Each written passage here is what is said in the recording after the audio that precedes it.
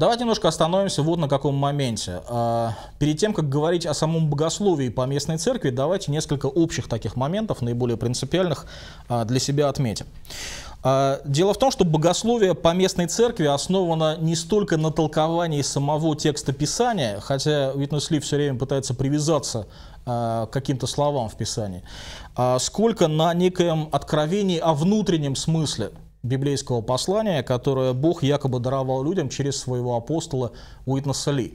То есть э, последовательность богословия, которая совершается в поместной церкви, она несколько обратная. Не то, что берется библейский текст, и из него потом выводятся какие-то богословские идеи, а скорее выводится некая богословская идея, а потом в Писании ищутся места, которые эту идею подтверждают. Да, и получается такая интересная картина. Вот что Уитнес Ли говорил по этому поводу. «Если вы слушали Бога в моем говорении, вы были благословлены. Мое говорение этих основных новых откровений за прошедшие 25 лет было глаголом Бога. Благодарение Господу за эти основные новые откровения, которые мы увидели за последние 25 лет. Мы получили эти откровения от Бога в Его глаголе через говорение Его нынешнего служения. Каждое из основных новых откровений, которые мы увидели за прошедшие 25 лет, это Слово Божье в новом свете – если у кого-то действительно есть говорение Божие, у, него, несомненно, есть свет. А, здесь, кстати, хочу остановиться на таком моменте. Вот из того отрывка, который я прочитал, наверное, вы уже заметили, что стиль изложения, которому следует Витнес Ли, он очень непривычен для нашего уха. То есть там настолько много повторений, что э, все предложения сливаются в некую неразделимую массу. А, то есть, честно говоря, когда я часто читаю тексты Уитнеса Ли, мне приходится напрягаться для того, чтобы понять, о чем же он говорит, потому что он постоянно повторяет одни и те же слова, предложения перетекают из одного в другое, и уследить за ходом его мысли очень сложно. Когда последователи Уитнеса Ли сегодня собираются на вот эти вот ежегодные свои учебные конференции, на них они не только читают книги Уитнеса Ли, не только изучают их, но еще заучивают так называемые лозунги – на каждый день, которые взяты из сочинений Уитнеса Ли, которые как раз звучат вот таким вот образом. И поэтому, когда потом в реальности общаешься с такими людьми, э, иногда очень сложно понять, что именно они вообще хотят тебе э, сказать, потому что смысл вот самих фраз, который им, наверное, понятен, он от человека непривычного просто э, ускользает.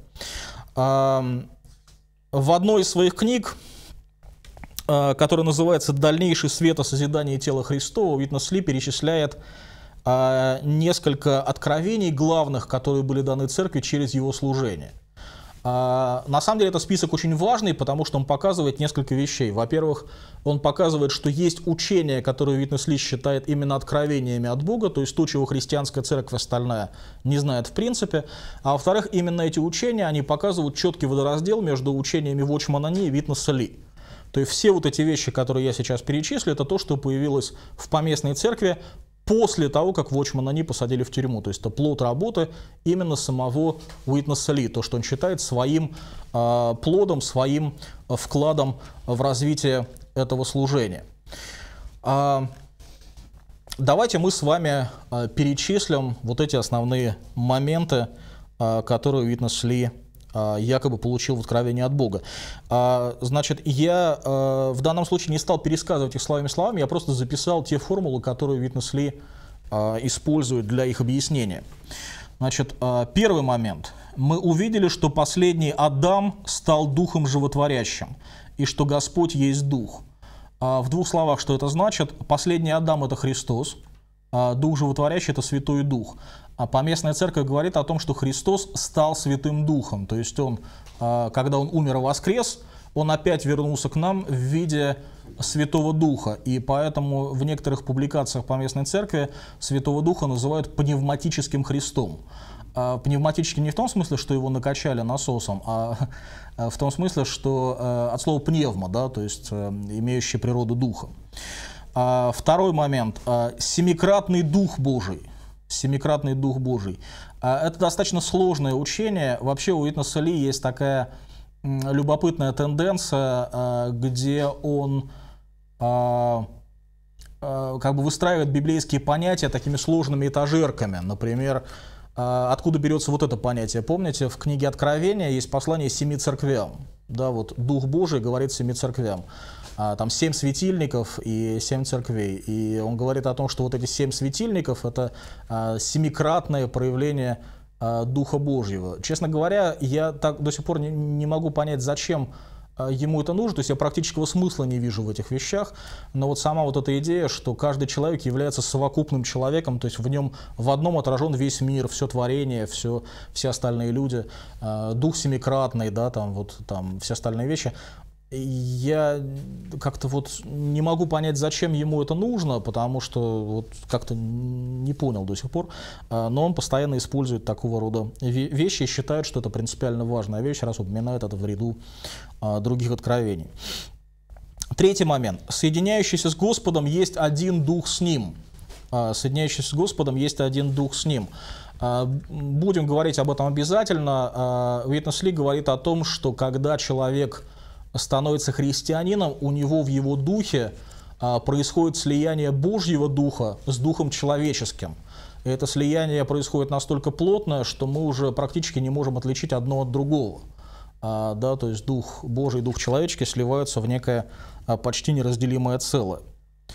А, четвертый момент. А, он пишет, «Я изобрел слово молитва чтения, чтобы передать откровение об этом факте в Святом Слове». А, у Витнесселей есть такая брошюра, называется «Молитва чтения а, Слова Божьего». А, речь идет не о молитвенном чтении Божьего Слова, когда мы, помолившись, читаем, и не о ситуации, когда мы берем какие-то библейские тексты и используем их как молитвы, а о совершенно новом методе чтения Божьего Слова, когда мы пытаемся читать Божий текст, но сознательно избегаем его понимания своим разумом. Да, то есть используем его как такой вот странный механизм. Но мы будем об этом говорить подробно, а, я пока а, просто в двух словах намечаю разговор. Пятый момент. Мы никогда не видели настоящего значения и жизненной важности призывания Господа до тех пор, пока Господне восстановление не пришло в Соединенные Штаты. А это еще одна практика, которую следует поместная церковь. Это на самом деле громкое призывание Господа. То есть поместная церковь и Уитнесли говорят о том, что когда мы говорим «Господь», а сама вот эта вот формулировка, да, призывание Господа, она производит в нас какое-то действие, причем буквально магическое. Он часто говорит о том, что если у вас какие-то проблемы, там с деньгами плохо, там или в молитве трудности, что сказать, скажите просто «О Господь», и сразу у вас все, э, все пойдет на лад. На самом деле там гораздо более глубокие есть моменты, мы тоже к ним еще вернемся. А, Следующий момент, шестой. Всеобъемлющий Дух Христа является завершенностью приготовленного триединого Бога. Uh, у Витнеслей есть совершенно удивительное, невероятное учение о сыром и приготовленном Боге. О том, что Бог, последовательно воплощаясь на земле, как Отец, Сын и Дух Святой, uh, Он менялся да, то есть Богу необходимо было прийти сюда как человеку, а потом прийти как Святому Духу для того, чтобы достичь некой степени совершенства. То есть сам Бог, он э, с течением времени меняется. А, следующий момент. Раздаяние приготовленного триединого Бога в преобразованного трехчастного человека. Это совершенно необычная, э, абсолютно уникальная тоже для вот этого богословия картина того, как Бог действует в человеке. А, мы будем тоже об этом а, подробно говорить. А, слияние приготовленного Бога с возрожденным и преобразованным человеком. Тоже такой необычный момент. Дело в том, что конечной целью работы Бога в человеке по Уитнесу является появление единого Бога-человека, то есть слияние Бога с человеком, которое является конечной целью всего, что Бог делает на земле.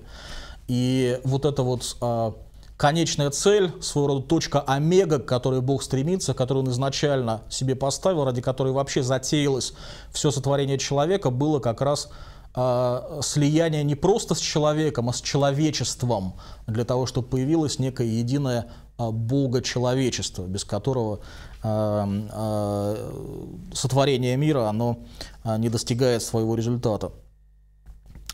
Следующий момент – это домостроительство, домоустройство Бога. А, здесь я не совсем понимаю, что именно Уитнесли имеет в виду под а, этими словами, потому что его книжка «Домостроительство Бога», она включает в себя очень много разных моментов. А, вот. Скорее всего, речь идет как раз вот об этом вечном плане того, как Бог, для чего Бог создал этот мир, каким образом он планировал достичь свои цели слияния с человеком и так далее. А, ну и, наконец, последний момент. Новый Иерусалим как совокупная личность, состоящая из всех избранных и искупленных святых Божьих. А, то есть, опять же, помните, я говорил о том, что Витнес Ли очень любит вот эти вот семикратные дуы Божии, да, там совокупный человек. Вот это то же самое. То есть, в конечном итоге у него Новый Иерусалим представляет собой не город, в котором живут искупленные люди, а как некая совокупная личность, да, в которую входят все а, спасенные люди. Опять же, мне сложно понять, зачем ему это нужно. То есть, возможно, я просто не как-то вот не дочитал до конца где-то какие-то вещи, но тем не менее подобные формулировки Витнес Ли очень любит. Самая большая проблема богословия Витнеса Ли заключается в том, что отказавшись от исторического христианского богословия и дополнив свое богословие новыми откровениями, Витнес Ли заодно отказался еще от традиционного понятийного аппарата, который использовался христианами, начиная еще с первых веков христианства. И э, вместо э, слов искупления, освящения, оправдания, он тоже их иногда использует, но гораздо чаще в ее книжках мы читаем слова пропитывание, э, сейчас даже сложно придумать хорошие примеры, но мы с вами увидим обязательно из чтения его отрывков из его работ, что на самом деле привычные нашему слуху слова, они абсолютно вот выглядит иначе, да, он придумал совершенно новые термины, наполнив совершенно своим смыслом, и поэтому, когда мы читаем его работы, у нас они не стыкуются с тем, на чем мы выросли, да, вот тем богословием, в котором мы воспитаны. То есть человеку, который учился богословию по книжкам там, Милларда Эриксона или по каким-то там православным учебникам, или по любым учебникам христианским, которые вот а, в исторической христианской традиции созданы, а, понять, что имеет в виду Ли, практически невозможно. То есть нужно буквально перекопать массу его книжек для того, чтобы вот все это пришло в какую-то систему, чтобы хотя бы как-то понять, что именно он имеет в виду за каждым словом, которое, какой смысл стоит за каждым словом, которое он использует. А, вот что он об этом пишет сам. До того, как Господне восстановление пришло в Соединенные Штаты, мы никогда не видели этого откровения. Мы не использовали такие термины, как наслаждение Христом, переживание Христа и показ Христа до того, как Господне восстановление пришло в Соединенные Штаты. На основании этого библейского откровения я и изобрел эти термины. Да, то есть он придумал совершенно новый а, понятийный аппарат. А в результате у нас с вами стоит, перед нами стоит совершенно э, такая глобальная по сложности задача. Нам с вами нужно, прежде чем давать оценку какому-то учению Уитнес Ли, хотя бы понять для начала, что именно он хочет в том или ином случае сказать.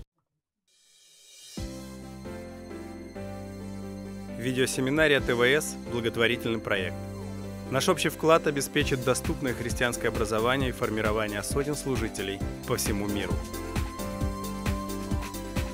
Поддержите наш проект молитвой и финансами. О чем молиться и как пожертвовать вы можете найти на сайте www.tvseminary.com.